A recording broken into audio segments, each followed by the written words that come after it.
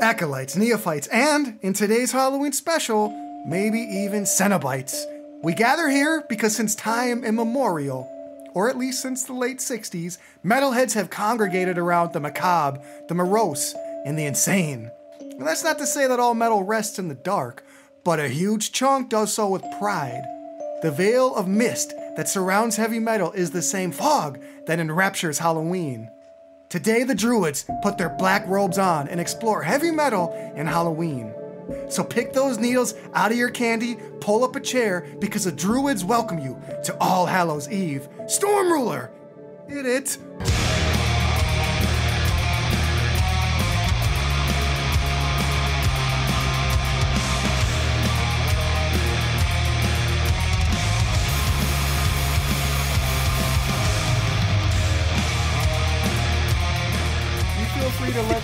Let the fans know that was a one take shot. That was a one. That was that was like uh, Scorsese leading in Ray Liotta and uh, you know that fine woman straight through the back of the the restaurant, straight to their table, sit, have a seat, all one shot. All this, the hustle and bustle of the kitchen, it all went down the way it was supposed to. That was a perfect intro. That really was a perfect intro. How the hell are you doing today, big guy? Franny, how the hell are you? Uh, it's uh, another perfect day to be talking about heavy metal. The skies are noticeably grayer since the last time I saw you. The the hair in my beard is noticeably grayer, and I'm just feeling like a grizzled veteran ready to talk about Halloween. Oh man, I uh the with the with the gray brings the gloom because I am just a little uh ugh, probably could probably from the weekend. I had a just jam packed weekend of uh frightened frightful activities and fun. So uh yeah, was, Yeah, I uh, heard you went to uh, heard you went to a little Oktoberfest down in uh, New Ulm, Nor Ulm, super German town in the southern part of Minnesota. Absolutely, yeah. We went to uh, New Ulm, the uh, the Sh- August Schell's uh, Oktoberfest, which was fucking rad. We got our uh, we got we got a bunch of uh, Oktoberfest beers and some Schell's sangria, which was uh, actually pretty good. I'm not a huge raspberry and or sangria fan, but nonetheless, it was still pretty good. And uh, of course, polka music. Got to have the polka music. Is it really Oktoberfest without the polka music? This will not. I'm just going to tell you right now. This will not be the first time polka comes up in this in this episode. oh, predicated on Halloween. This is Oh, going to be a polka. Fr- Aside from, I'm not going to be riding around in the back of a van with John Candy looking for my my missing kid in Home Alone. But we're here to talk about polka. oh boy, oh boy, I like it. Yeah, no, the uh, the the the band that they had uh, that was doing the polka music was actually really good. They ended on uh, like a polka version of like country uh, country roads by uh, I think it's John Oh Denver. That It sounds was- scarier than anything we're going to talk about today. It was actually really fucking good, and everybody was singing along. There was so many lederhosens everywhere. It was fantastic. Yeah, take me home, mine country road.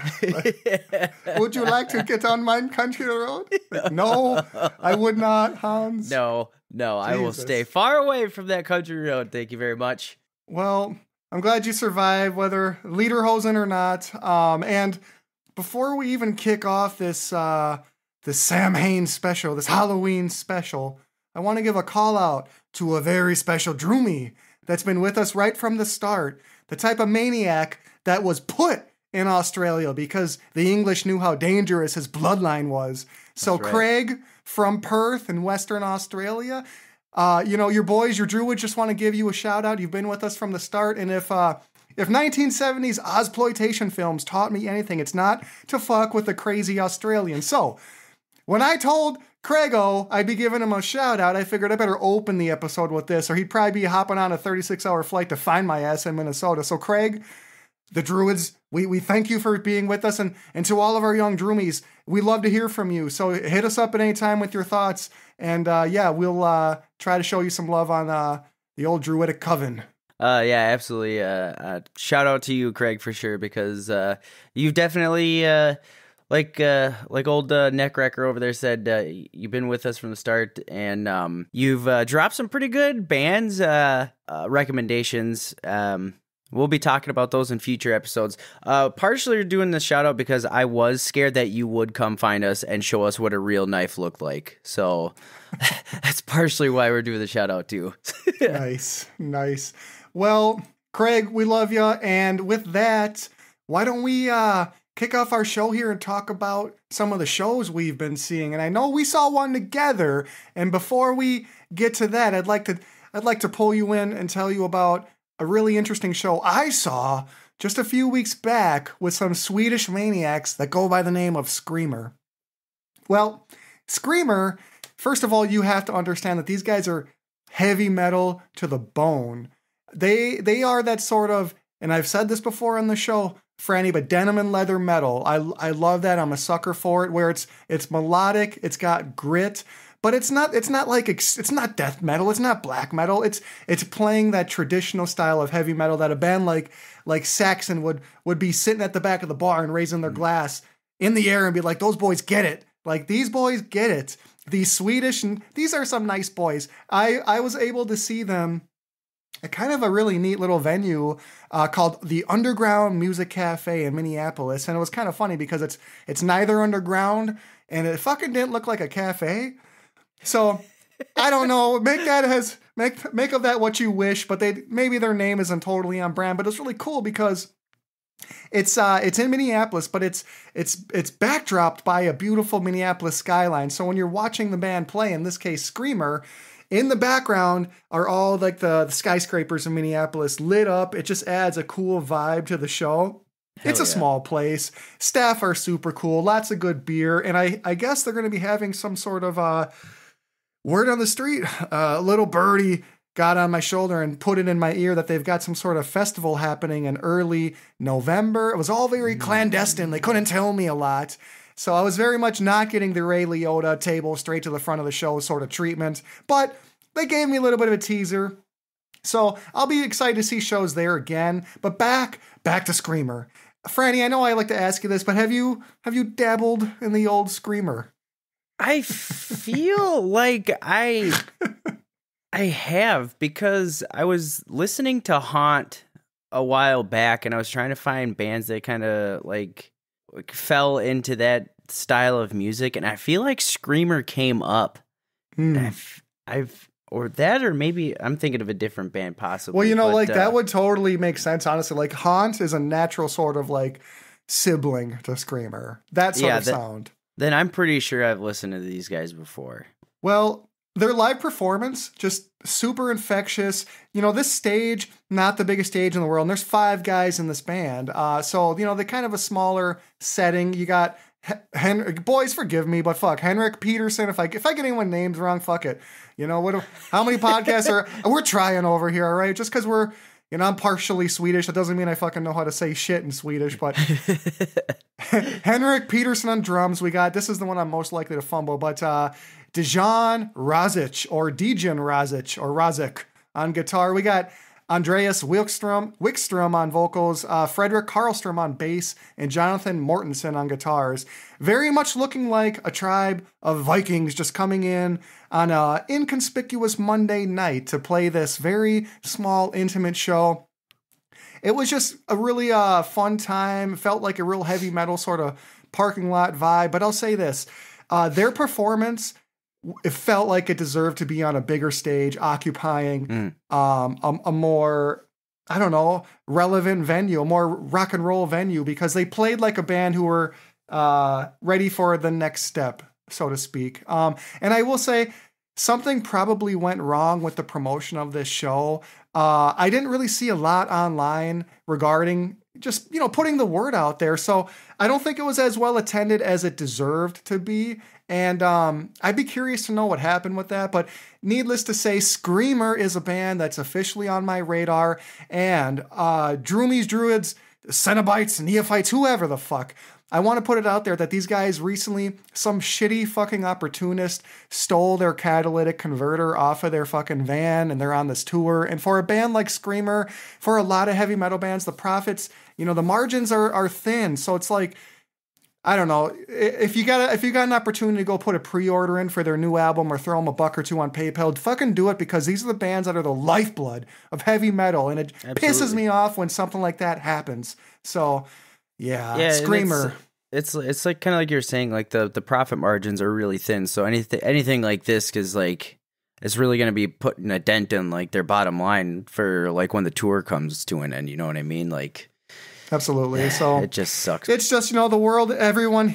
It's funny, a lot of these bands we're going to talk about today will be touching on like the satanic panic or all the fear people felt for heavy metal. But the real, the real evil is just out there in the regular world. Like these guys are just making music. Give me a guy, I mean, addiction, hopelessness, domestic violence. Like these are the, these are the real heavy evil, war for fuck, disease, famine, fuck. yeah. And these guys are making music. So whatever we talk about today, keep that shit in fucking perspective.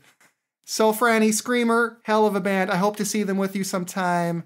And um, I tell you what, before you launch into our next show, should we uh should we just give a shout out to the True Sagan Elite? Oh, absolutely. Absolutely, for sure, man. So, True Sagan Elite, uh, the brothers Gordo and uh, Nate uh, had a uh, like a little backyard barbecue barbecue bash not too long ago uh, for some bands that were in town. A Few of them that we ended up seeing. Notably, we got uh, Revocation, Krisiun, uh, and Inoculation. Were at this uh, kind of day off, day of rest uh, barbecue type deal, and we got to hang out with a lot of the guys and meet members of the bands and stuff like that. Uh, I was incredibly terrified of the brothers from Krisiun because these guys are just. I mean, you see them and they're like they're they're they're big boys. I'm a small guy, and they're they're like they're like head and shoulder, abo- uh, you know, over me, and I was just like, oh boy, I was uh, very intimidated. Um, Oh, they're and then- definitely big boy. I mean, big boys. And then with the the full on sunglasses all day, just like can't be bothered to stand up and acknowledge these peasants and looking like, frankly, looking like they could put in some work when they're not on tour and have Oh, yeah, no problem with the local authorities. Like leave those leave those boys alone because that's how they make a living. Absolutely. Yeah, they were uh, they were pretty uh, very intimidating. But uh, a couple other uh, uh, chemists, the the guys from chemists were there also. Those guys were something else. Like they were a lot of good fun. Uh, Chemists are around. fucking hilarious. I could not believe how like care. I hate to say this, but like legit, just charismatic, nice guys. They were like the Yeah. life of the party. I could not. I couldn't wrap my head around uh, just where the the conversation was going. And then by the time by the time they were pouring some backyard barbecue shots for everybody, I was merciless to the peer pressure because Franny, these shots that they were offering us, that they later dubbed the backyard barbecue, were three parts, very, very important but equally disgusting parts. A1 steak sauce. You got two parts Tito's vodka, not too bad, and then some lime, just a dash of lime to bring it all together. And that that was known as the backyard barbecue. And here we are. It's well, fucking Monday before the show. We're both working stiffs, and somehow we're taking shots of backyard barbecue at this. And let's talk the food. Jesus Christ, the the True Sagan Elite. I mean, this this was a sh- this reminded me of uh, Hook. You know that huge Oh, yeah, yeah. imaginary feast, like where the yeah, kids are. It was nuts. It was crazy. Yeah, the the spread they they put on was was really wild, man. Like, uh, and you know, I came late, so like the uh, the meat was pretty good picked, uh, pretty well picked over. But like, I saw videos and pictures of it, and yeah, it was a pretty impressive spread. oh, they were going around with shrimp and steak and yeah, and that fucking shot. It was it was pretty it was pretty rough. I mean, it wasn't as bad as I thought it was originally going to be, but by no means does that mean it was. Oh, it was pretty tasty. It- no, no, no, no. That's pretty far from that. But The uh, thing is, it just requires. You know what that drink needed was like a shaker, so that the sediment from fucking A1 sauce would dis- dissolve a little bit more. But anyway, you know, it was fun. It was a good memory. Chemists, I really enjoyed those guys. They were really funny. Um, and uh, we also got to bullshit with uh, the boys from Inoculation, who Mhm. could not have been more down to earth and likable dudes. Absolutely, yeah, yeah. We uh, ended up ta- uh, talking a lot to with the uh, the bassist and vocalist uh, Nick from Inoculation. Yeah, very cool dude. Uh, was kind of telling us like some of the band's influences, especially for certain songs and albums. The uh, with uh, Miley Cyrus and uh, what the hell is her name? Dua Lipa. Dua or Lu- Lu- yeah, what the fuck is Dua Dua, Lipa? Lupe or Lipa? Yeah, I don't yeah, fuck- something like that. But uh, when he told me that originally, I was just like, "Wait, what? Like that's that's crazy. That that's act that's that is actually really crazy." But then you kind of I don't- I don't know when you're listening to them. And we'll kind of touch on this, uh, you know, in the concert roundup or the breakdown. But uh, you can kind of catch some funky tones, like while they're while they're playing.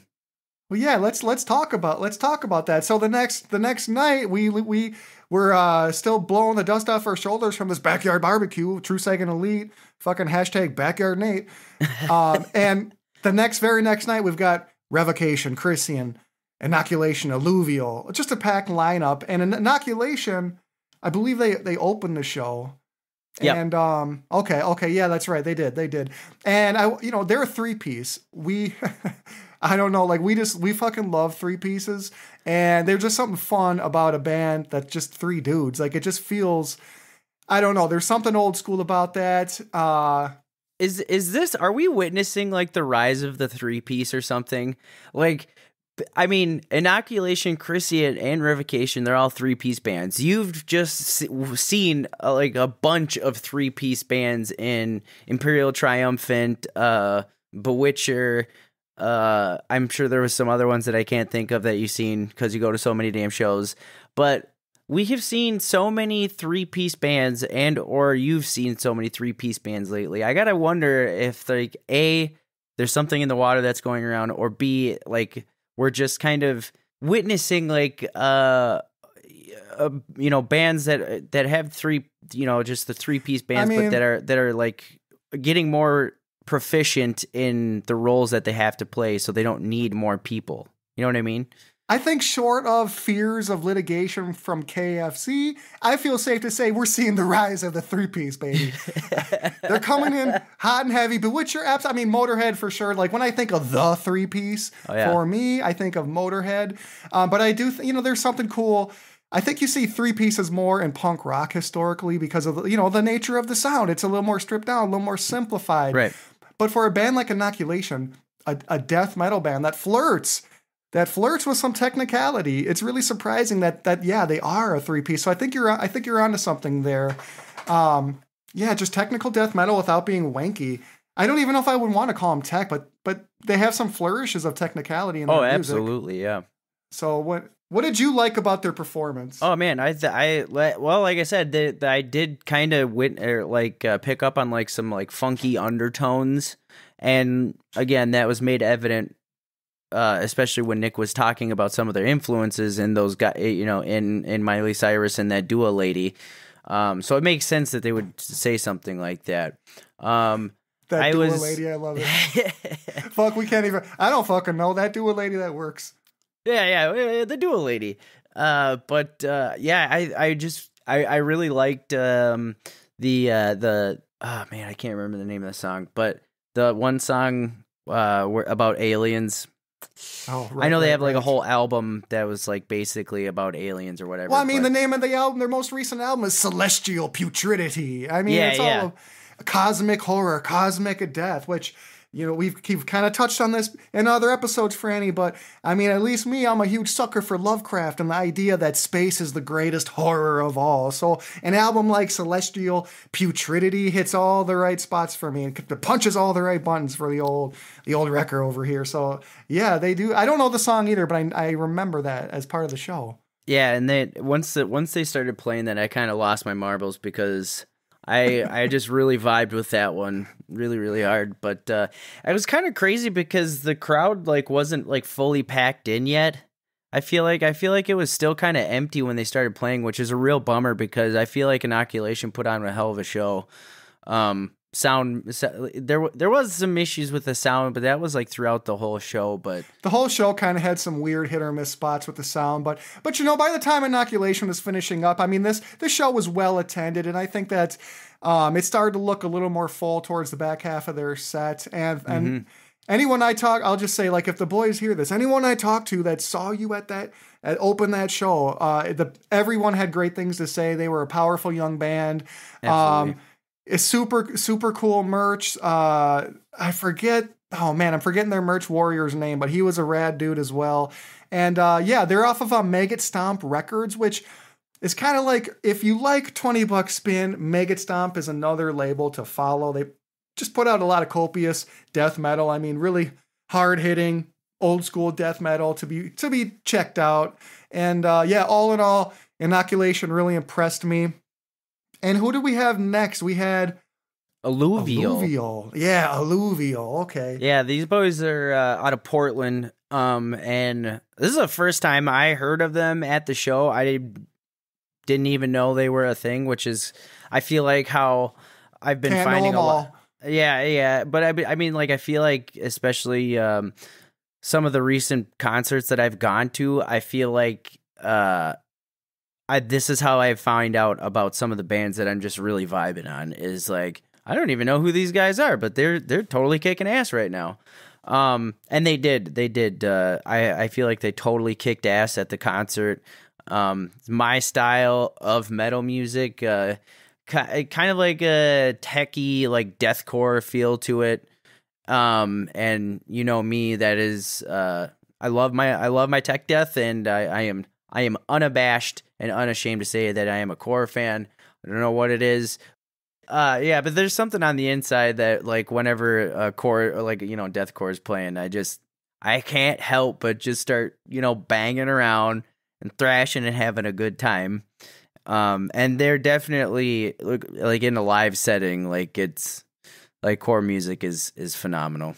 Well, I uh, I am definitely an abashed deathcore fan. I'm I'm on my growth journey trying to get to the unabashed side, but I'd say right now I'm still very much like Steve Buscemi in one of those Adam Sandler movies. I can't remember if it was Billy Madison or if it was Happy Gilmore, but I'm Steve Buscemi at home putting lipstick on, ashamed of what I am, and what I am is a deathcore fan, and it's only.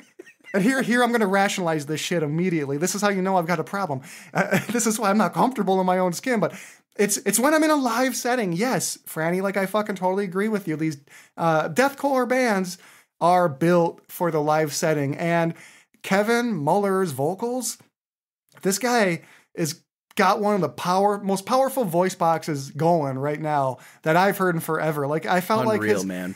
I felt like his mic could have been off and he still would have sounded just like um, Hurricane Katrina rolling through that club because he had some power to it. He sounded like he sounded like a blowtorch, and I was impressed. Yeah, man. Yeah, I. Uh, his vocal styling, it kind of reminded. I can't remember the guy's name, but he's the lead singer of Parkway Drive. Uh, totally get that vibe coming from him. Uh, yeah, and you're hundred percent right, dude. His mic could have been off, and he could have still filled the whole venue, uh, like above the instruments and everything like that. It was it was wild. Um, very powerful voice. Uh, I thought the band did a great job. Like I said, they kind of flirted with like a little tech deathy, uh, uh, you know, s- spots throughout the show. Um, I I felt very energized when I was listening to these guys, which really sucked because I was literally the only one in the mosh pit while these guys were playing, and the dude. You know, kept saying, "Oh, you know, open this pit up," and I was just like, "Fuck yeah, let's go!" And yeah, then nobody else came in except for me, and I was just like, "Why, why?" Uh, you know, I totally sensed.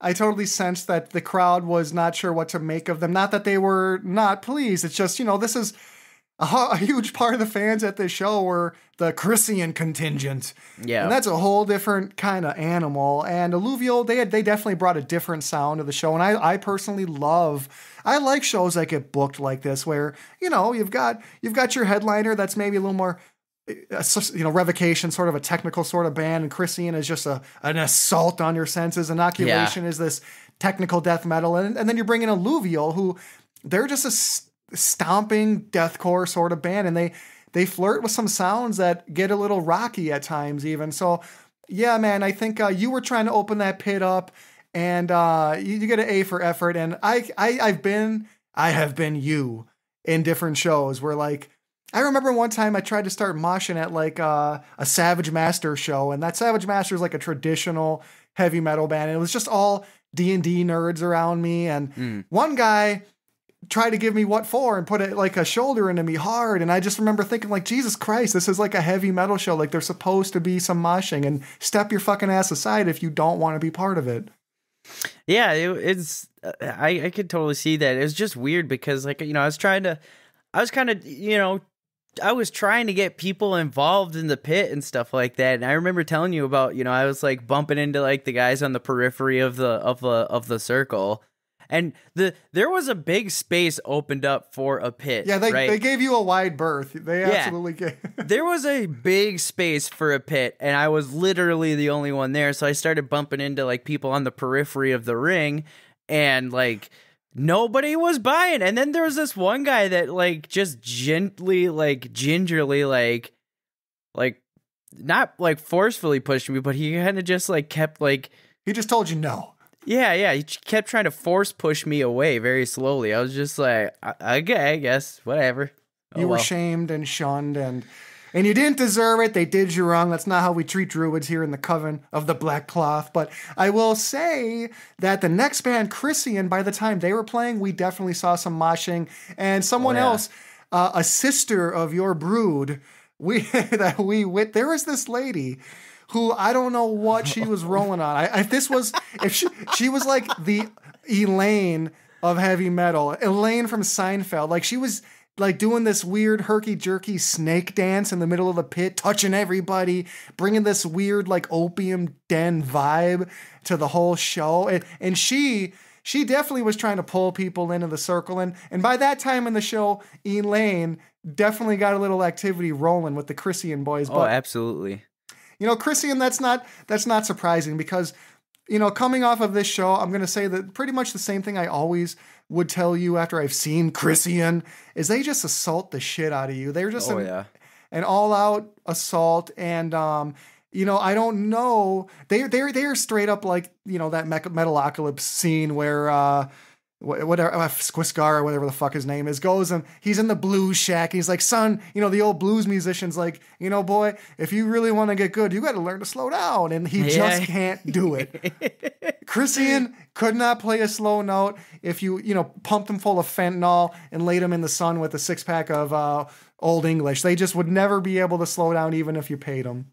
No, no, you're right, man. You're right. Uh, they're they're like the uh, the the movie speed of the metal scene. Like if they go slow, too slow, their hearts are gonna explode or something like that. Like they just like they can't they can't do it. But that's and you're right. It was a it was a brutal like uh, an assault on the senses. Uh, you know, I I could see them being like a like a uh uh like a unrelenting bullet train from hell. You know what I mean? Just constant, nonstop.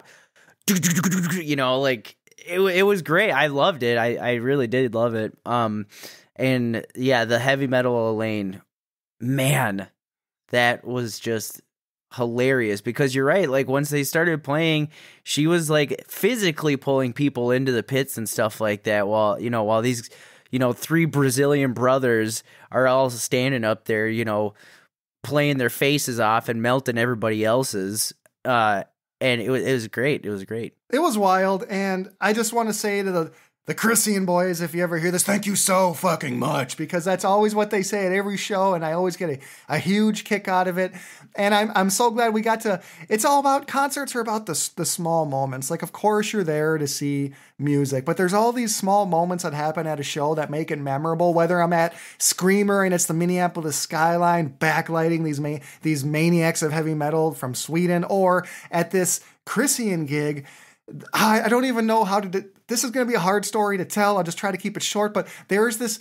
This is a Halloween show, right? And there's this troll of a man that I see at every show I go to. He's always got like some stitched together crusty denim on. He look he looks like a gutter punk. He's a he's a wild character and like a lot of times I've always thought that he's just extremely fucked up. Now I don't know what to think about this kid because at this show he's headbanging like I always see him doing. And like I frequently see him doing, he's like looking down at his phone. He's ferociously flicking his finger down his news feed and just like imagery is flying by. Like he's going through his feed as fast as like Johnny Five would like read a book back in whatever the fuck, whatever 80s movie that was. But he's flicking his hand like crazy. And I'm like, I start to get a little bit curious. Like, what is this kid? What is he looking at, in the middle of Krisiun's set? And I was disturbed to my core because when I got a little closer to there, I saw his screen. He wasn't looking at text, he wasn't on social media. He was looking at thousands and thousands of images and, and processing them instantly of just simple images of isolated nipples during this Krisiun set. I have never been so disturbed and yet intrigued simultaneously in my life. What the fuck? I know. So all I could think to say is like as we went in and wanted to record the show, knowing it's the backdrop of Halloween, I feel like I want. You, you, we talk about being anthropologists at shows. I have felt like a sociologist or some sort of just primitive primate research assistant viewing this kid. Like what? I just want to. I feel like maybe he is like George Costanza, combining two worlds of extreme pleasure. Not in George's case, it's it's sex and food, but in Yeah. this guy's in this guy's world, it's nipples and heavy metal, and he just has to combine both worlds and reach some sort of like s- stimulatory apex. And I don't want to know what the conclusion or the climax looks like. I gave him once you lean over and see someone scanning through thousands of nipples in the middle of a death metal set, you give that fucker a wide berth. Oh yeah, absolutely, dude. What the I this is what I bring to you. We're going to talk about bands. I'm going to talk. I'm also going to talk to you about the the loudness of someone wiping their ass and the guy scanning through nipples because just that's the hard hitting coverage you're going to get. I was On the just about to say that. Last week it was the dude aggressively wiping his ass with sandpaper, and this week it's the guy mixing nipples and metal. I don't know where the show is going. I am sorry to everybody. Nipple scanner has been identified. So anyway, well, a fantastic show. Uh, I'm glad I got to to see that one with you. Uh, we both had to dip out early, so I can't. I don't want to cheat the listeners and try to front. I was not there to see Revocation. I've seen them before. I know they're a great band, but we both had to dip for our own various reasons. So, Franny, uh, is there anything else you want to say about that?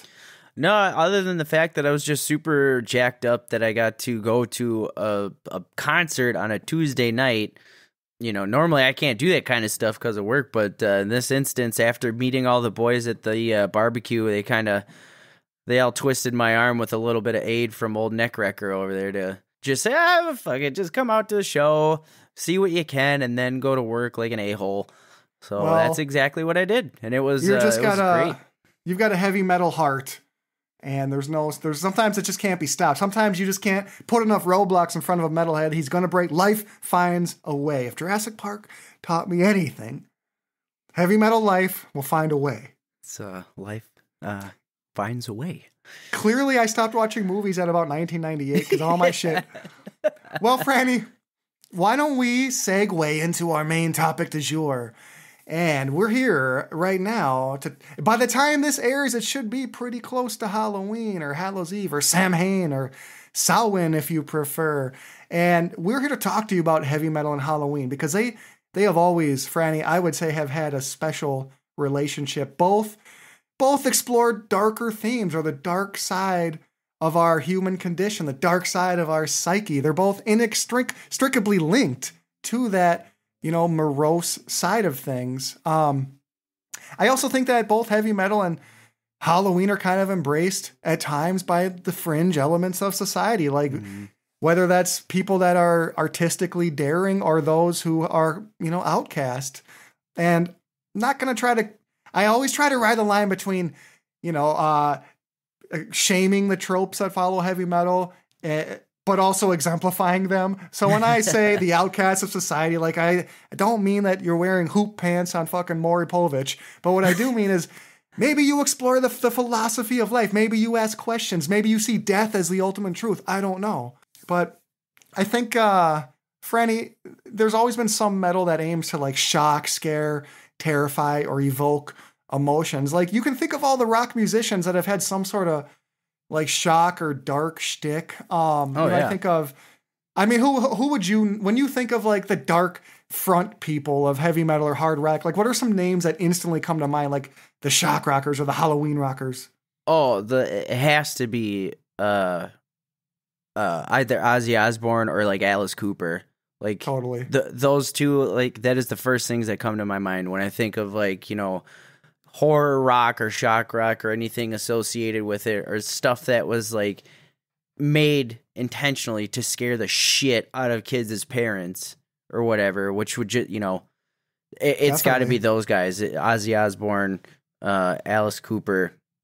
I mean, for crying out loud, like I mean, just think about it. Listen to the stories that you hear about these guys about, uh, you know, Ozzy biting the head off a, of a bat or a pigeon or whatever. You know, that was completely misconcepted or whatever, and it was completely blown out of proportion.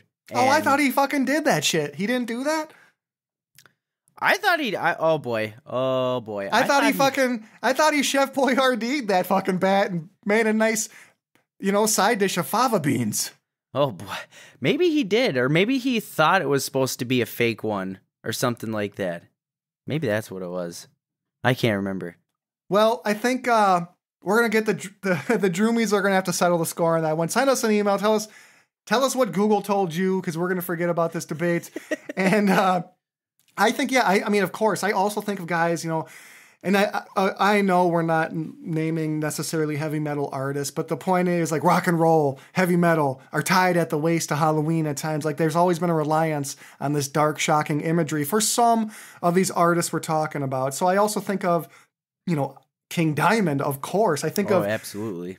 I think of uh, later iterations like Rob Zombie or Marilyn Manson, or even most recently, I think uh, Tobias Forge of Ghost. I think he's Ghost, yeah, for carrying on sure. this tradition of having this sort of dark sort of aesthetic that's a little bit schlocky, but is out front and center and is selling out arenas. There's a long history of this. So, you know, whether it's stories of Dracula or Ozzy biting the head off a bat, whether it's stories about zombies or black metal church burnings, like there is just a shock sort of thread that that that weaves these two things together. And you talk about Halloween now it's uh you know it's kind of an excuse to get for for some to get blotto or treat it like amateur hour and booze it up or dress skanky or just eat shitty candy but Halloween is is much more ancient than than we tend to think of in our in our kind of pop cultural sense like the Celts the Celts I mean we, we're the Druids of Doom over here of course we're going to tell you about the Celts who lived you know thousands of years ago uh, all, all over what is now Great Britain but uh, mo- there's without boring us everybody to, to tears and turning this into like an Indo-European discussion. The Celts also were all over Europe. Uh, they reached the steppes. They were down in Iberia, and they shaped a lot of the modern world in a lot of really interesting ways. And one of those ways is in this festival that they held at the end of summer, and and when the harvest was beginning, and all the Celtic people were thinking, you know, with a lot of nerves, like, what is the winter going to bring? What is the dark part of the year going to bring? And these mm. are people who, you know, they very much rely on the stars and they rely on the oral tradition. They rely on their their priest class, the Druids, who at on the night of October 31st would help the Celtic people celebrate Samhain, which, from what I understand, is pronounced Samhain. And and on that night, it was believed that ghosts of the dead returned to Earth. And on that night, it was believed that Druids had a special clairvoyance that they, even though they were revered year round, but on that night. They were said to be able to see more, see more into the future about the harvest, and they would build huge, ghastly fires, and people would dress with all sorts of crazy costumes, usually like animal heads or animal skins, and they would try to tell each other's fortunes. So fast forward 2,000 years, and all of these traditions have kind of become this weird amalgamation that we now know today. And, and Halloween may look different across the world, but it's wild that this pagan ritual, this pagan holiday that the Celts gave us, are still being celebrated now. So That's wild, man. I had no Yeah. idea it went that far back. I originally thought that Halloween was invented by the Hershey Company to sell shitty candy, but you know, the more you know. I don't even know if Hershey's actually makes chocolate or if they just sell brown colored wax. Anybody from Europe who tastes like Hershey's has got to just be like, what the fuck happened with the colonies? like, Jesus Christ. We don't want you guys back anymore. You you stay over there and you keep your shitty candy too. Franny, I think it's time to kick off this topic in earnest. Let's talk about, let's open with the most important debate we have to settle. Freddy, Jason, and Pinhead. You gotta fuck one, marry one, and kill one. Oh, boy. I'm gonna say fucking straight away, straight away with the fuck, marry, kill question. Freddy, Jason, Pinhead. I'm gonna fuck the shit out of Pinhead. He's an What? extra, yeah, he's an extra dimensional hell beast. And uh, the thing about the thing about Pinhead, hopefully, Droomies, you've seen Hellraiser, and you're aware that the Cenobites from this hellish a nightmare scape, they're obsessed and uh, ultimately destroyed with this obsession around pleasure and pain. So when you think about Freddy, Jason, Pinhead, fuck, marry, kill, and you got to choose one of them, I feel like Pinhead, he's a he's a perfect, you know, one night stand, fuck on Halloween type of guy. He, he's a, I get the impression, you know, he might push my boundaries a little bit. He seems like he could be into like some BDSM that I'm not quite ready for. But I just think he's the right, he's the right demon priest to cajole me into this evening. Who do you got? Who you fuck, marry, kill? Who do you got?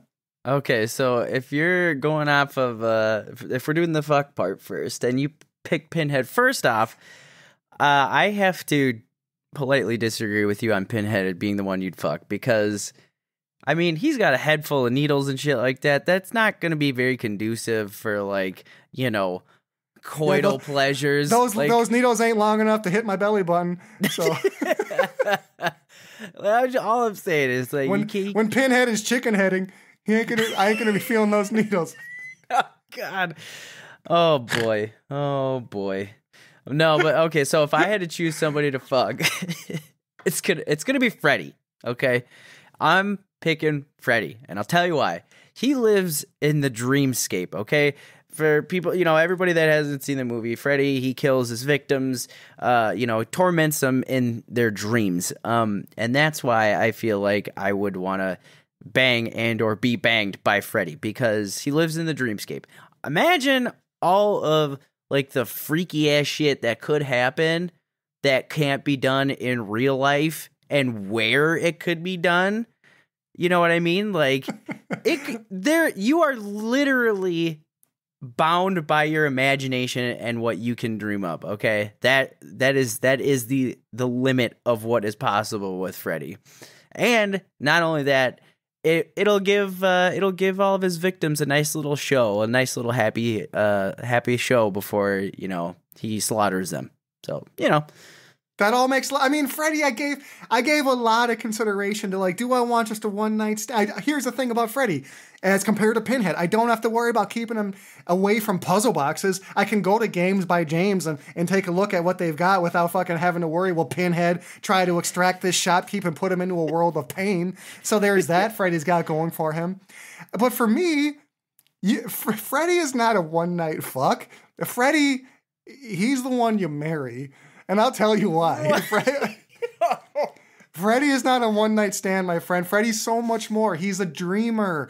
Whether he's like dreaming up a deck or a boiler torturer room, he thinks big. And I just get the sense that he's the kind of the kind of guy you can build a life with. He's got he's got a plan. he can he can realize steps A to B because he's been a dreamer his whole life and I think he's probably a jazz man. He's got that fedora. I, I, I just got a sense that he likes refined things. He's shown he's creative. He made that fucking glove. I mean, that's really resourceful. And the thing about that glove, he's ahead of the curve in terms of using secondhand materials. He's repurposing all the. So he's earthy. I love that.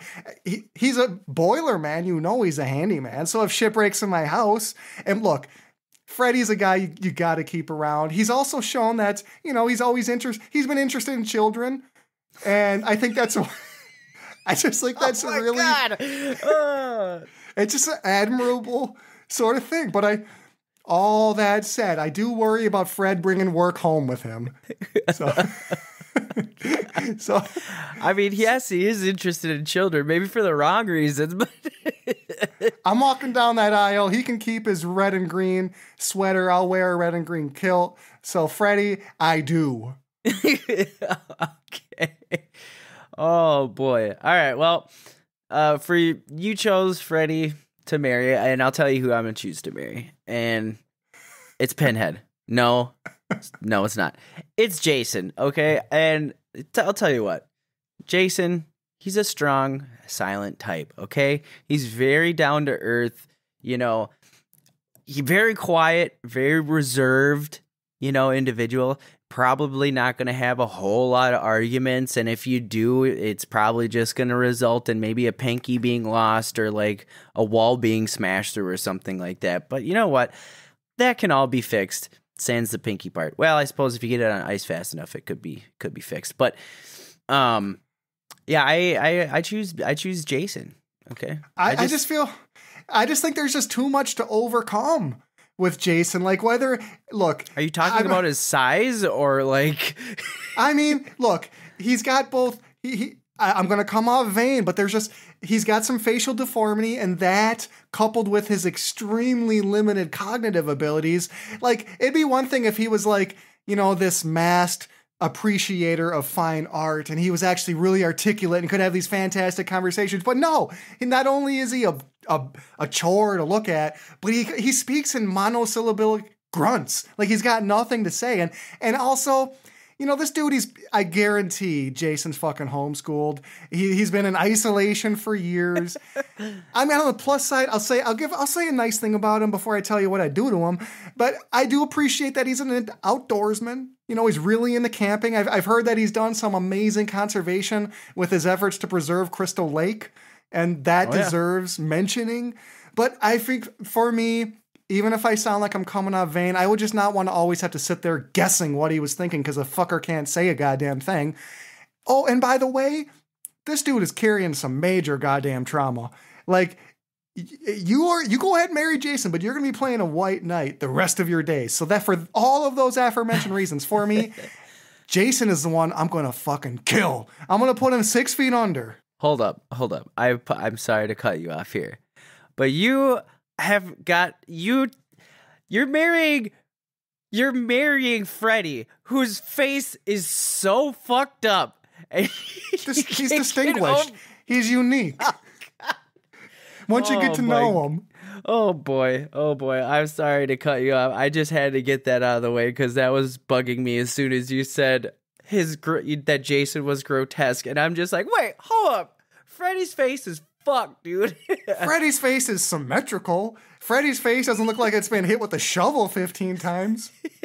and in the dark, hey, look at Freddy. He's so conscientious. He puts that hat on in the right lighting in a jazz club. You can't tell. You're and the way right. he hold the way he holds your hand, it's dynamite. With or without the glove? Depends on the night. Yay. All right, tell me how you're gonna kill or why you want to kill Jason. I just, I mean, I gotta pick one.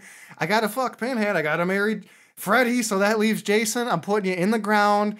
I know you're afraid of water, so I gotta try. You know, I think I gotta lure him back to Crystal Lake where it all goddamn started under the guise of maybe some sort of retreat, like we're gonna unpack your demons. But really, no, dude, you're just gonna take that. I'm gonna put you in Davy Jones' locker and be done with you. So, so those are those are who are you who are you uh, killing over there?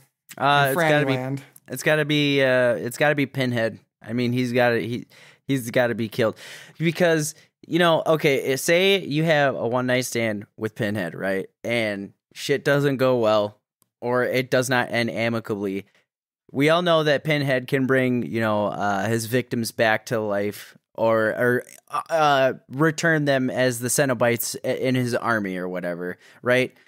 I could just see him like going on a date and it doesn't end well. He's gonna bring back all of your exes to just constantly like traumatize you and just make your life a living hell. So that's why he's got to be stopped and he's got to be killed. But also, like I said, his head is full of pins, and that just would not be good for marrying or sexing. What if the pins in his head are like the notches on his belt? So every time he has a one night fuck, he's got to put a new pin into his head. That's kind of romantic. So I'm, I'm sticking with my oh, pick. Oh boy! And on top of that, I feel like Pinhead. He looks like he probably listens to industrial. So we'd at least have some shit to talk about. Maybe he's like a you know got a, a deep catalog of old albums that we can wax oh, on. Oh sure. And, yeah. So I think you know, it's uh, it, with with bachelors like these, it's it's not an easy no, choice. No, it's very hard to pick, man. I've uh I've appreciated your thoughts on that, and um, you know, I think uh one thing to say also about Halloween and heavy metal, we've already kind of touched on is that there's such an ex- exploration of the dark side of humanity. And so when you think about art mediums that really dive into that, and that Halloween is such a perfect vessel, you, you think about horror movies and you think about heavy metal, and those two things pair really well heavy metal and horror. So for this next segment, Droomies, Cenobites, Neophytes, Boiler Room attendants, the Druids are going to tell you how to pair a perfect horror movie with just a tasteful heavy metal album and why. I'm gonna I'm gonna lead off with a darker. I'm gonna I'm just gonna come out of the gate and get the darkest shit out of the way because I don't think I can spend too much mental energy in the space needed to talk about these two. But the movie is Martyrs, and the album is uh, by Bethlehem, and it's Dictius Te Necare. Mm. Hopefully, I got that right. But if I didn't get it right and you want to listen to this, Bethlehem's 1996 release, Dictius Te Necare, pairs perfectly with just the most vile, repugnant, beat you down, nihilistic, disturbing movie experiences I've ever seen in the form of Martyrs. And it's really important if you decide to go down this rabbit hole and, and watch this movie, you have to watch the French version of the film.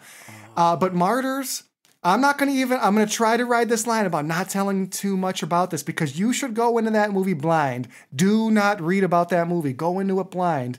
And without giving a lot of spoilers, I'll say these two pair perfectly because both will just beat you down into such a depressed, bleak state. It's not so much that they scare you, it's that they just strip you of all positive emotion. Mm-hmm. They just reduce you down to a nub.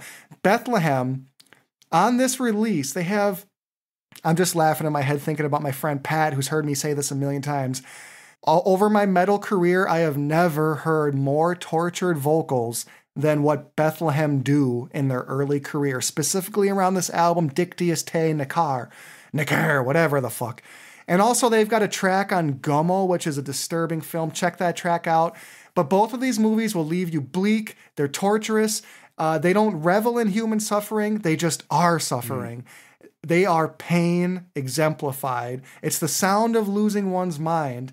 Uh, and I'll just give an honorable mention. If you decide to watch Martyrs, and you decide to listen to this Bethlehem release, don't do it back to back, but there's an honorable mention to Leviathan's The 10th Sub Level of Suicide.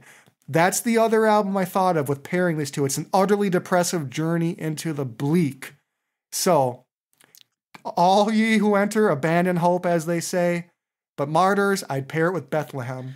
Franny, what do you got? Well, before I get into my first one, I just want to say that I think you were to- you told me about this this movie Martyrs before. Uh, you, I, I specifically remember you saying to watch the French version, and, and it was. I don't want to say what you what you told me because it was kind of a little bit of a spoiler uh, spoiler, but uh, yeah, it from what you how you described it, it was. Very bleak and brutal to put it. well, it's so interesting because you know the movie it, it it puts the viewer into a position where you will have sort of an existential mm-hmm. crisis mm-hmm. by the end of it. By the end of the film, you feel like the protagonist. You go on this journey where you have a sort of metamorphosis of your own. It's not a movie that I would say is even necessarily entertaining. I'm not even saying it's uh, a good movie. It's just incredibly important. It's it's a movie I'll probably never watch again, but I'm so glad I hmm. did. Mm. So it's a weird recommendation to give, but if you're of a certain sort of steel and you really want to see what humanity can create, short of watching something that's not even with with artistic merit, like this has a lot of artistic merit. Yeah, check out Martyrs. Mm. I still have to watch it, but I do I do want to watch it. Um all right, let's see. My uh, my first one, my first uh, uh, movie slash metal album pairing, uh, was gonna take us back to the '80s. Okay, we're gonna talking about John Carpenter's The Thing, and uh, kind of you know thinking over in my head like what what I pair it with. I I have to pick something that's just as cold, uh, as terrifying as the movie itself. Uh, and I picked uh, Crypt of Ice by Frozen Soul. Now, why would I pick this? Um, well, like I said, Perfect. I I both I think that both the the setting of the movie is is cold and creepy, and so is uh, the album uh, Crypt of Ice. But they're also both brutal because some of the things and imagery that you see in the movie are brutal AF, and some of the uh, feelings that the uh, the album by Frozen Soul evokes is also brutal AF. The song "Faceless uh, Enemy" kind of makes that connection even stronger between the two because you know in the movie the thing it, it assimilates so we, we don't really know what it looks like as far as I re- as far as I remember it has been a little while since I've seen them uh, from the uh, seen the thing but as far as I remember The thing, what it looks like, it looks like whatever the fuck it wants to look like. It has this shape shifting ability to take on its host and all the animals it touches. That that's the beauty of the thing is it can be any life form it gets to know. Exactly. So it assimilates. So we don't really know what the thing looks like, um, and that's how uh, you know it's it's terrifying to think of. You don't know who's your friend, who's your enemy. Is this is this really uh, Neckwrecker I'm talking to, or is this a fucking assimilating alien from another planet that's trying to like snuff out life as we know it? I don't know, and that's what's so terrifying about it. Um, and I like I said, I think the song Faceless Enemy" really makes that connection stronger.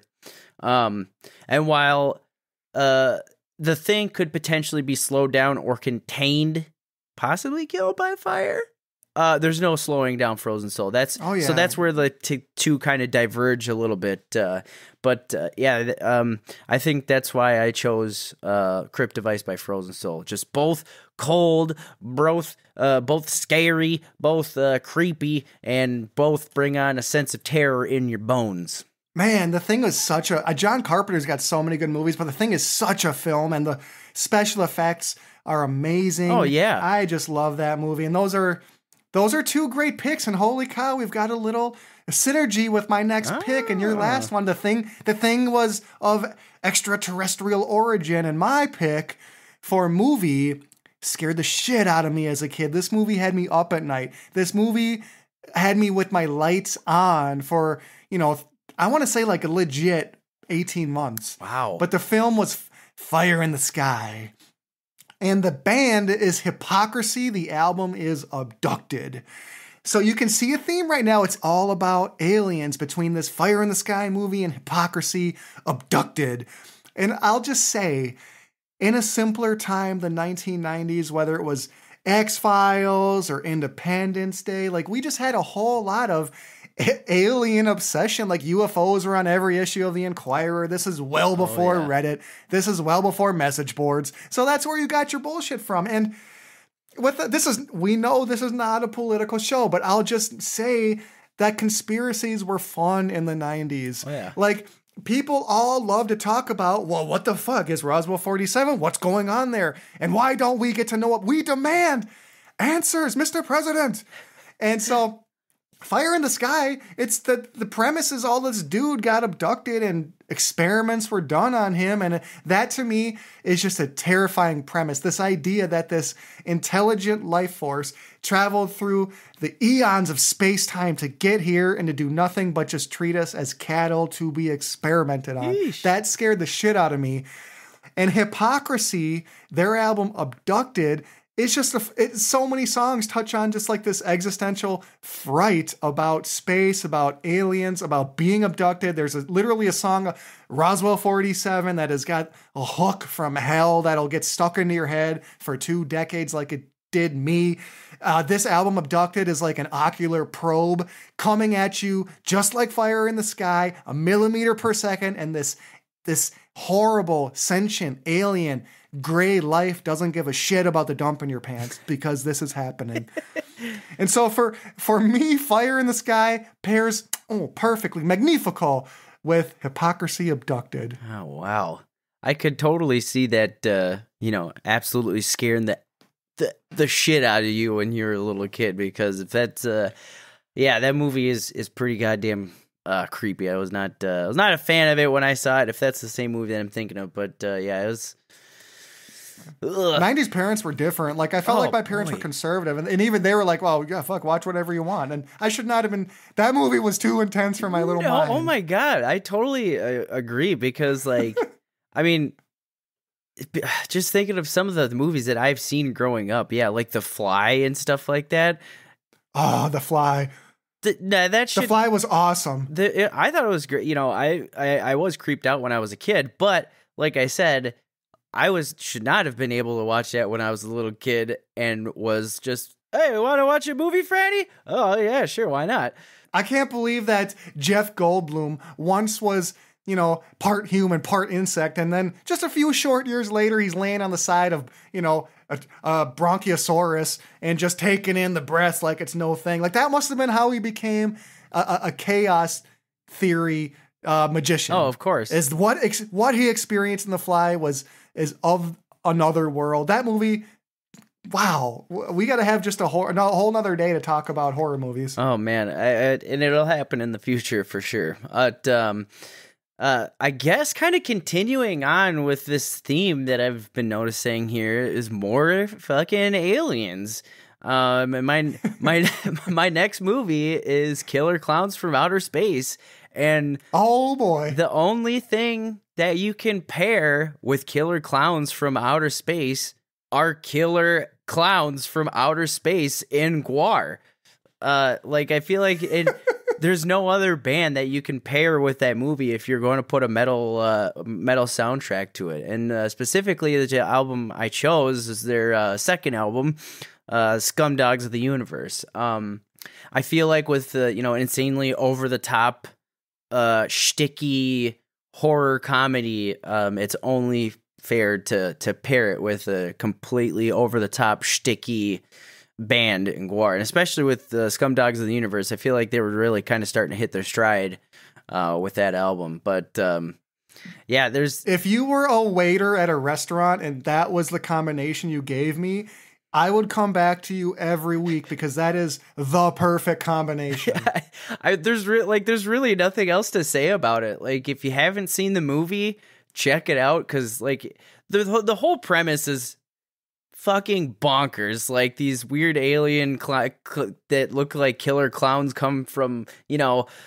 Uh, you know, crash on Earth, and people think it's like Halley's comet or whatever, and turns out to be like They're wrapping people up. They're putting bodies inside a cotton candy and drinking you like you're a fucking juice box. Yeah, then they Jesus Christ. They shrink you down and turn you know they shrink you down and throw you into like a popcorn box. It's, the the whole movie is just fucking bananas. Uh, so if you haven't, You know, that might be one of the few situations, though, Franny. Like, horror movies are filled with dumb fucking white people that are so naive and just walking to their death and their demise. But if you put a fucking neon clown tent in the middle of a field that's pulsing light and has like amazing music coming from it, I'm gonna be one of those people walking like with a strand of drool from my mouth Oh. straight in a bee's line towards that goddamn a tent. hundred percent, there is a zero percent chance of me turning around and walking away. I am going to be a moth to the flame, and I'm heading straight for that fucking godforsaken tent. No questions asked. I am not the final girl in that movie. I'm the fucking second. I'm the second death Yeah, in that movie. absolutely. Like, let's get this fucking. Let's get this small fry out of the way because he's too fucking easy. Absolutely, no, no, no argument on that. I, I'd probably be the first Excellent death if you're, if you're the if you're the second. I'm probably the first. Uh, but yeah, if you, You're the fucking opening scene. You're, the- you're you're the guy that just like they show in the goddamn trailer. Like he's so he's such an easy kill that it gets two seconds on the trailer. But uh, yeah, so if you haven't seen Killer Clowns from Outer Space, definitely check it out. It's just a it's a trip. Um, and then Scum Dogs of the Universe by GWAR again, just a just a trip into of an album. Like the whole band and their discography is is a real trip. But uh, yeah, definitely without check question. definitely Well, check them out. Man, that just got a huge pop out of me. So I don't. Know, that's gonna be hard to follow. But uh, hey, Vern, you know what I mean. I think I have one for you. The movie is, and when you talk about the classics of cinema, of course you've got The Godfather. I mean, and and you've got Goodfellas, uh, and you The Departed, or wh- whatever you whatever you might reach for. This should be right next to those sacred films, right at the pinnacle of American cinema. Cinema. Ernest Scared Stupid. Oh, That's the movie. goddamn masterpiece! And the album is by Finntroll. It's uh, Jaktens Tid. Now, if you've ever seen any Ernest goddamn movie, you know that he's like just a bumbling fucking idiot. He's not smart. He's always getting into haphazard situations by sheer virtue of his brain dead stupidity. Like he makes Beavis and Butthead look like research assistants. and this is perhaps Ernest at his dumbest and Ernest Scared Stupid. This movie is just like such a 1990s campy, silly, spooky sort of comedy. Like it's it's totally schlocky as fuck all. So it, it, this is it's a good movie to follow Killer Clowns because it's very much in that vein. But Ernest, this old derp, he finds this tree and inside that tree is a troll and that troll turns kids into wood. And actually, it's kind of a it's kind of heavy when you when you think oh, about it on the surface. Hundred percent, man. I mean, he's collecting little kids as little wood figurines, like he's you know coming out of a Chuck E. Cheese with his uh, his rabbit foot as a memento, putting it on his his shelf where he does his dishes. Like I got all these little ba- he's collecting kids like beanie babies and he's turning them into wood. And here comes our oh here comes our hero. Ernest, scared shitless like usual, but somehow they find out that milk can kill this troll. I don't know, it's a silly, stupid kid horror movie, but it centers on this mythic troll. And uh, you know, there are a lot of things I, I, thought of when I thought about an album that could pair with this, but ultimately you got to go with Finntroll. You got to go with their second album, Jaktens Tid. That's and maybe it's Yatkins Tid. I don't know, but this is really where they hit their their bubbling cauldron best, and they combined. Oh hey, polka callback. This is where they combined the Finnish polka known as humppa with sort of like a, a black metal aesthetic, and what you have is a perfect movie to follow up Ernest Scared Stupid with. They're both fun, they're both silly, and they leave you feeling like, wow, that was a good time. So yeah, Finntroll and Ernest Scared Stupid. Hell yeah, man. Uh it it's been so long since I've seen that movie, but I can almost like as you were describing it, I can almost do like the whole play by play of it like in my head. I was just like, man, that movie was a good one. All right. Uh, quick question though, side note, but related to Ernest. Besides Ernest Scared Stupid, what's your favorite Ernest movie? Uh, Ernest goes to camp. God damn, yes, dude. That that is the best one. Ah. I don't these movies are like etched into my little kid mind and I only can grab for like loose imagery and like one-liners. I don't remember a lot, but I do remember liking that movie as a kid and you know the, the Ernest Scared Stupid. Here's how dumb this movie is. I remember this is the thing that stuck out to me most as I was uh, trying to recall what this movie was about, but they defeat the troll with fucking milk. Yeah. Except there's like this whole myth around like uh, the mother's mother's helper or something along those lines. And they're like, uh, well, what the fuck? This is a riddle with these little dumb shit middle school kids, and they're not much smarter than Ernest. They can't figure out what this riddle is. And well, it turns out mother's helper is like fucking milk. So, you know, shout out to this poor lactose intolerant fucking troll. He's just trying to live a future lifestyle. He's drinking almond milk. He's watching what he eats. And some fucking dipshit janitor crashes into his tree, fucks up his house, and now he's got these little kids trying to go after his collection of wood sculptures. All in all, I side with the troll. I, I, was about to say I'm on the troll side in this one. I'd be pissed too, and not only that, but we know some people that milk would kill. Uh, so, like, oh, I, am seeing where the I, I'm seeing where the troll's coming from. He's just misunderstood. That's all. Well, I think uh, to close out my recommendations, I could wax on this for days, but the, to close out our little cheese and wine pairings here, uh, Cenobites and Neophytes, all you fucking degenerates. Franny, the movie is Zombie 2, and the band is Fulci.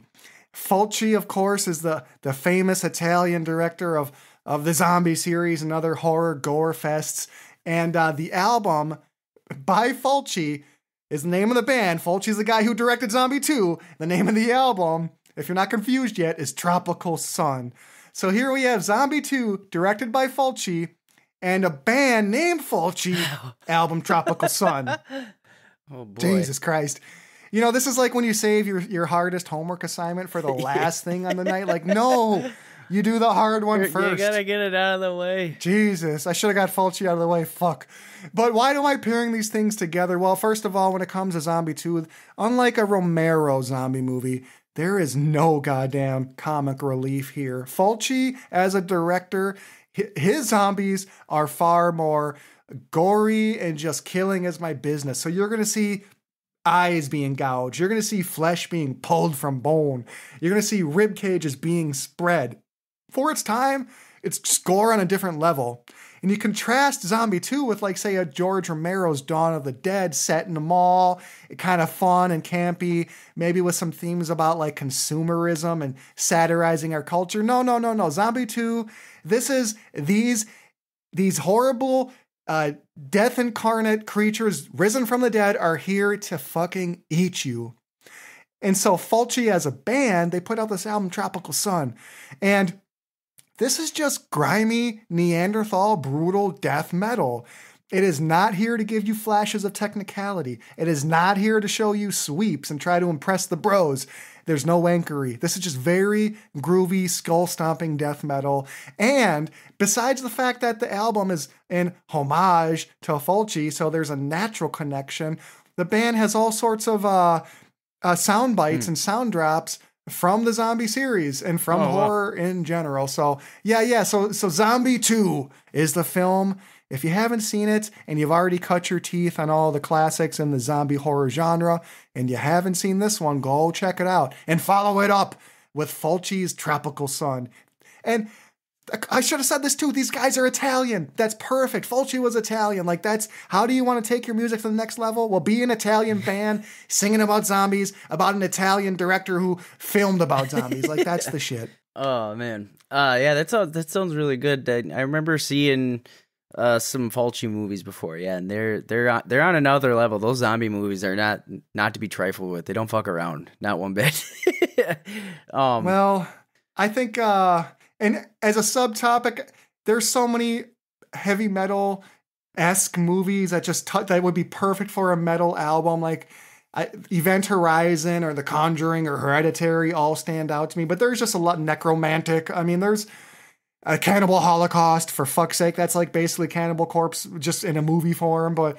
There's just this is such a fertile this is fertile ground for us to plunder and we're not we know we're leaving a lot on the table. Well, it's it's funny you bring up Hereditary because this is my last pairing as well. Oh, you do have one. More. Yeah, yeah. So it's it like I said, it's funny you bring it up. Um, so my, the movie I'm choosing is Hereditary. Uh, this was billed as like one of the scariest movies in decades. Um, and the the album that I am pairing it with is uh, a collaboration between Lou Reed and Metallica. The album is Lulu, and it is the worst fucking album I've ever heard for the worst fucking horror movie I have ever seen in my entire goddamn life. Holy shit. Uh. I'm not even taking the bait. Uh, to, to all of our listeners, this guy has no taste. Hereditary is a fantastic fucking movie, modern masterpiece. No, oh God, no. And I just rem- this so this dude, so he eats Totino's bad. and he likes it. So, so that's all. Bad. That's all you need to know. It's so fucking bad. If- oh, you know one I left on the cutting room floor, which I wish I hadn't. I'm just Deicide and The Exorcist. Boy, that's a pairing. That's going to be for next year something's there. I know it. I just missed it. But I just, I'm feeling it right now. Deicide pairs with either like The Exorcist or The Omen, maybe even Rosemary's Baby. But something is there to be found later. That would definitely be a good one to good pairing. Um, for sure. Um, well, well, that's all the pairings that I have. Um, that's all the pairings we've got for you.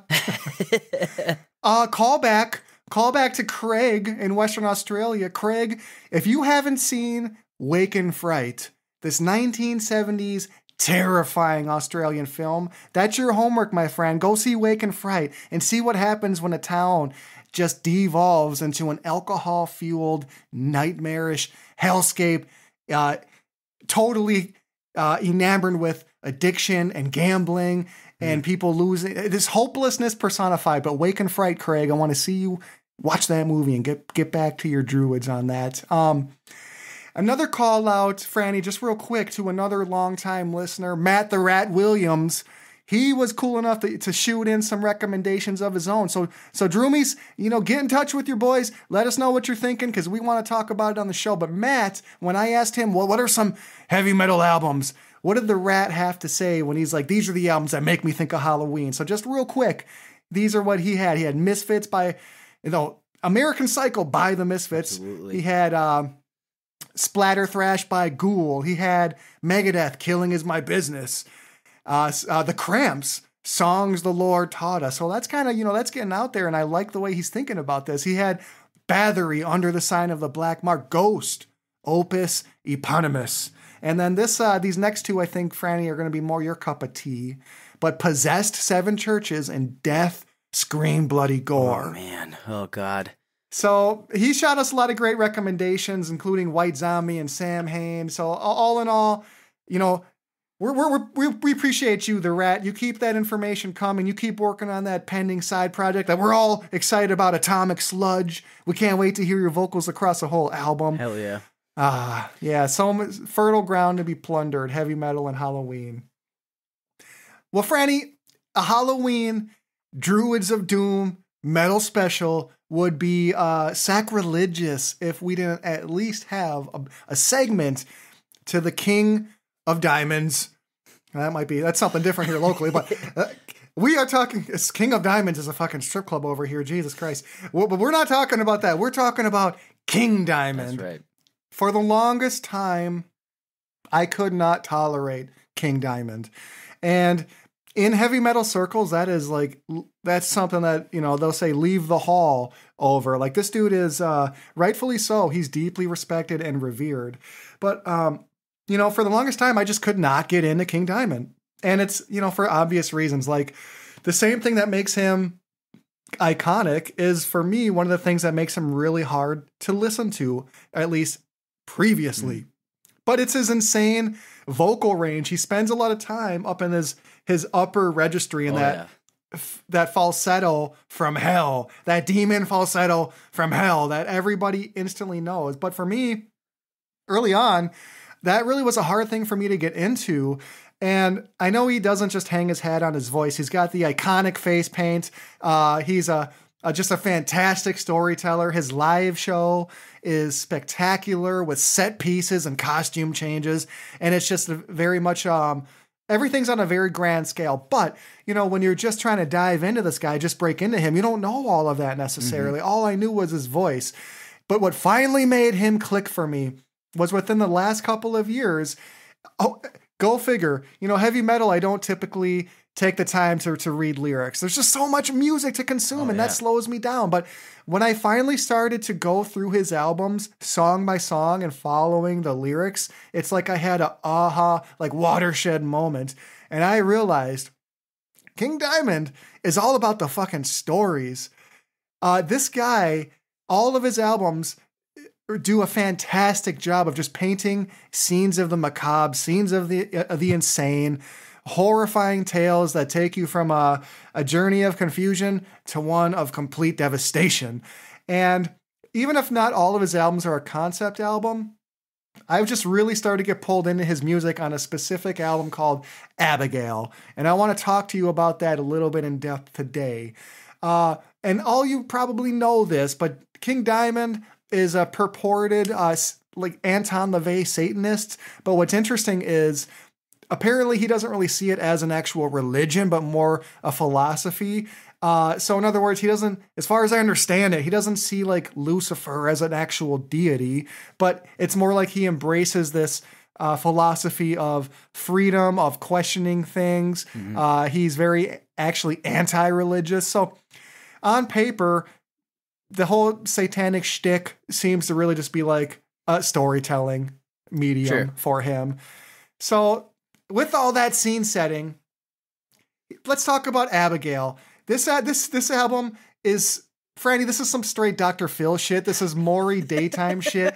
It's some it's full of just all kinds of uh high drama, so like if, if cell phones had existed in the 1850s when this story is set there would have been some serious posts on reddit about what was going down and i mean like it's it's predicated on a haunted ass old mansion and this young couple this couple miriam and jonathan LeFay. they you know LeFay, jonathan LeFay inherits this fucking ma- mansion and first of all franny as they're moving in you know think of your u-haul just pulled up to your brand new Victorian home. You're all excited, and seven horsemen pull up, and they're like, "No, don't fucking move into this house." I'm gonna be honest. Like, if a single horseman did that, I'm immediately packing up my truck and getting the fuck out oh, of there. But do they listen? No, they don't listen. The, the horsemen are like, look, if you move into this place 18 will become 9. And Jonathan and Miriam, they have no idea what the fuck that means. They ignore the horsemen and they move in. Big fucking mistake. Of course. The house is haunted by Count LeFay. Jonathan's like, you know, long lost great uncle or some shit. I don't fucking His- know. But the point is, it's his, great grandpappy. his great great grandpappy left him the fucking house. He left him the gun, the house, the plow that his grandma used to push. He's got all kinds of memorabilia. But he's fucking haunting the place, this count. And this count, on the first night, he's like, yo, Jonathan, take a look at this casket. And this casket's got this stillborn baby, Abigail. And it turns out Miriam is carrying the ghost of Abigail, and this child must be reborn. So straight away, King Diamond, this album Abigail, like when you listen to it, you will if you don't sit down and follow it song to song, you would never know what's actually going on. But once I did, I was like, oh hell no, King Diamond, I'm gonna listen to all of his albums and follow all the stories. And this is what hooked me in, was going lyric by lyric into this this deep dive approach into his work. Um the funny thing about the funny thing, I got a dark sense of humor, but uh, the count is basically telling Jonathan, you know, you got you got to kill this bitch. You got to kill this bitch before Abigail is born. So uh, previously, the count had pushed his cheating ass wife down the stairs, and hence Abigail was born stillborn. So there's a whole history of men, the uh, LaFay men pushing their spouses downstairs. There's just a whole lot of intergenerational trauma being passed on from the count to Jonathan. You know, bad smells are happening, random church bells are ringing.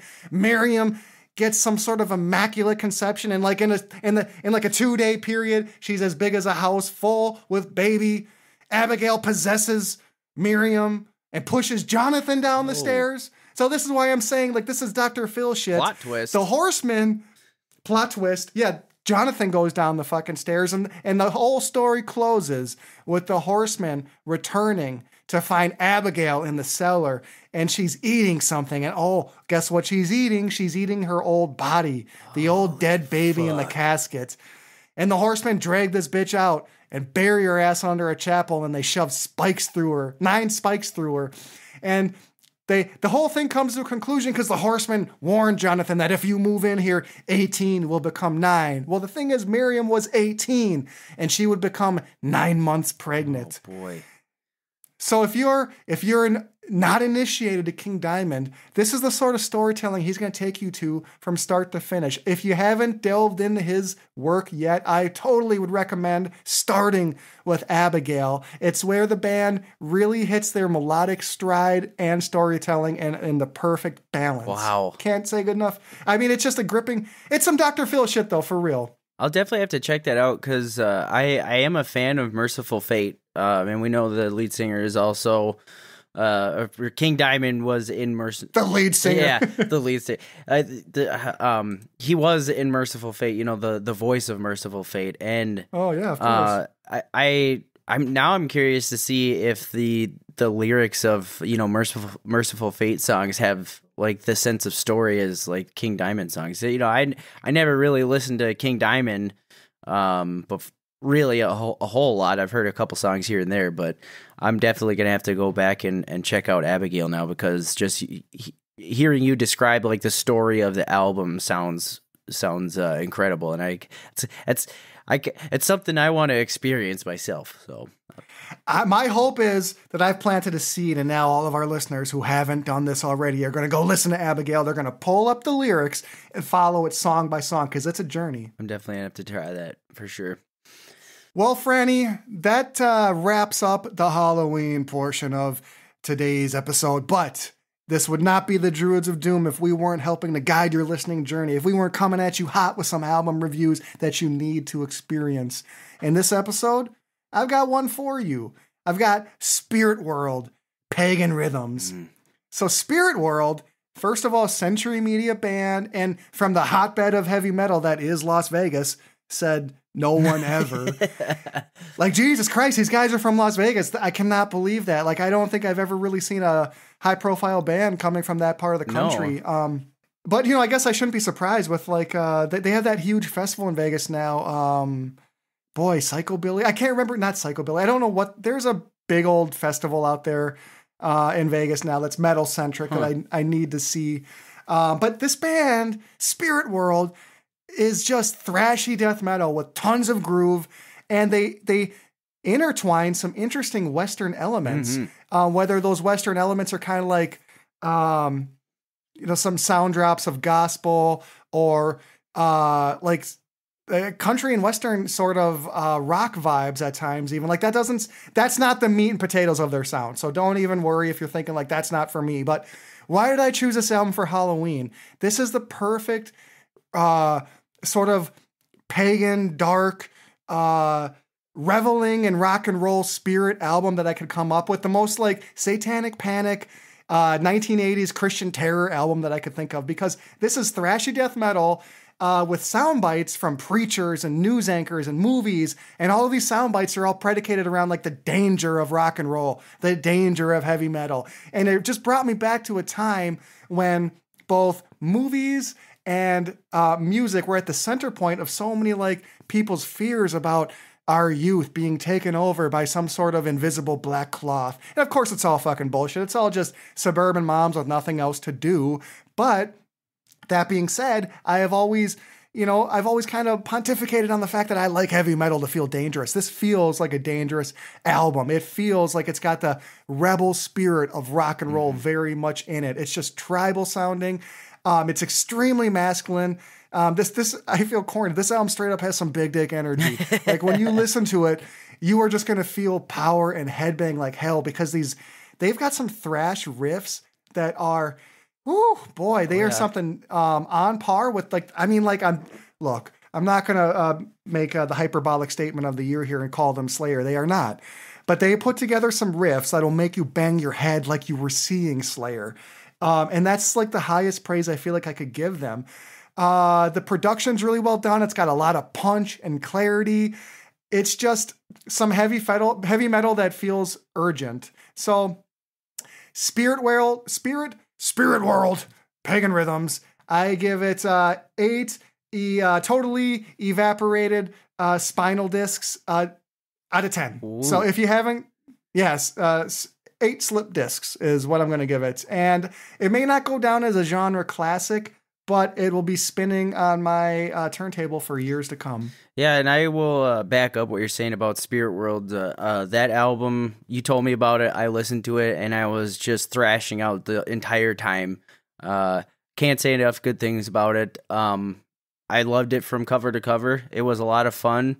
Uh, and like you said, the some of the riffs that they came up with make you feel like you're at a Slayer concert, and I will hundred percent back that because some of the riffs they came up with are just oh man, it, they're just so fucking rad. Um, and it makes me excited uh, for their album coming out very soon. I believe uh, uh Death Western. Death Western. Yeah, I'm super excited for that one. Um, they have some singles out for that one. If you haven't uh, checked them out, give them a listen because they are pretty goddamn good. Very excited for that album to come out. I think I'm gonna update my score. I know I said eight out of ten slip discs. I think this is since four out of five plastic surgeons recommend total facial reconstruction after listening to this album. I'm gonna give it eight fractured orbital bones out of ten. Updated score for you. All right.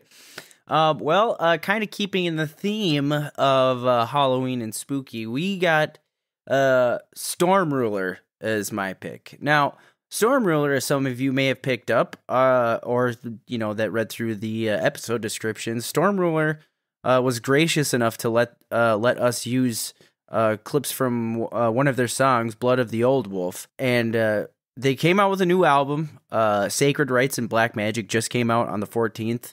Um, and let me tell you, this album is fantastic. There's really nothing else to say about it. Uh, I was excited for Stormruler when we saw them in concert, picked up their album, and was immediately excited, even more excited for what they had, uh, you know, re- uh, their future releases, excuse me. Um, and this just solidifies that excitement. I kind of get like dis- dissection vibes, you know, Storm of the Lights Bane uh, vibes from this Oh, definitely, definitely. from this album, like for sure, and that's that's a good thing, like absolutely. Um, the solos throughout the entire album are just incredible. Like it just it, it's it's nice because like it makes the good like the the guitar sings almost in like a creepy like siren siren esque kind of way.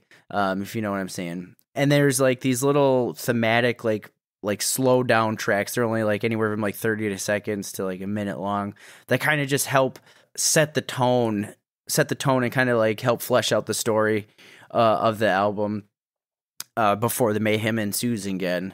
Entranced with the uh, tra- entranced within the moon presence is probably definitely one of my favorite songs off that track. It's so fucking good. There's parts of the album where I also get like some thrashy vibes uh, as well. Just a lot of They definitely know how to rock the fuck out. Oh my god, they do. It's a, it. It makes me want to don like my war paint. You know what I mean? Like get some get some eye black and just like you know, and then like you know go screaming into battle or something like that with like a rusty like battle axe or something. Like it just makes you feel like you're. Bu- But the best art just makes you feel. Period, oh yeah, right? exactly. And, and I, I um like I said, I was excited for these guys before, and I I just I I just wish them all the best. And again, huge shout out to Stormruler for letting us use you know little snippets of uh of uh, Blood of the Old Wolf um because there's not a better intro or outro for the show. But yeah, that's uh that's I I'd say I'd give it uh uh five explodingly stuffed franny packs out of five. And and we again we'll, we'll we'll figure out what a franny pack is and what's the function of it. We don't know yet. Nobody knows. But yeah it My theory right now, I think that a, a Franny Pack is like a Capri Sun filled with mercury. that's what that's a good that's what I'm thinking. well i mean dude capri sun in and itself isn't far off of mercury. This stuff is po- po- poison but yeah uh sacred rites and black magic go definitely check that out because that album crushes I mean, I think that's your first perfect score, so that tells me I, I I absorbed a couple of the singles, but I haven't heard the whole album. So I now that just shot to the the top of my queue You list. I'll be do it. exploring that right away. And yeah, of course, I'm so thankful that that we can use Stormruler's music because it just sets the whole ambiance that the Druids need every episode. So well, Franny, we've been on quite the journey. We've been we've been passing out candy. We've been watching Ernest Scared Stupid. We've been fucking Pinhead and enjoying ourselves. and I I have to say, I think uh, I don't know exactly what I'm doing tonight yet. I think we, uh, me and the gal, might uh, go out as some zombies with their faces painted up and get a libation or two and get home safely. Maybe throw on Bride of Chucky. I don't know, but it's Halloween. I'm ready to party. What do you got going on? Well, currently, as this album launches, I am in Mexico City right now. So, Day of the Dead is happening all over the place. So, I mean, there's going to be parties everywhere. So, I can't wait to get my face all uh, candy skull painted up, go out and have a good time with uh, with my uh, uh, Mexican brothers and sisters down south there. So, it's going to be a it's going to be a hell of a good time. I'm super fucking jacked for that. So, Well, we look forward for the full Druidic report of the Day of the Dead and hope you return in one piece. And until then, I thank all of you Druids. I'm going to pass it over to Franny, who's got some important thoughts and messages for you. Thank you once again for joining us. Yep, uh, as uh, as Rex said, uh, thank you guys so much for listening. We really appreciate it for everybody that's been around since episode one. Keep uh, keep on listening, keep staying with us, and uh, make sure you reach out to us on either Instagram or Twitter. Um, uh, let us know what you're listening to, what what you want us to listen to. Also, if you have any questions about us or any album suggestions, or you know any suggestions at all, or you know asking like what we're wearing or whatever. Make sure What are you wearing your first date with Pinhead? Yeah. That's what I want to talk about. yeah drop drop comments on our socials and then uh, also reach out to us uh, druids of doom podcast at gmail.com um, you know we're pretty responsive you know uh, like i said just reach out to us and let us know what you're listening to what we should be listening to what, what let us know what uh, you want us to discuss in the future If you're a Pinhead with a cat o' nine tails lightly slapping my ass, we're very responsive. Yes, absolutely.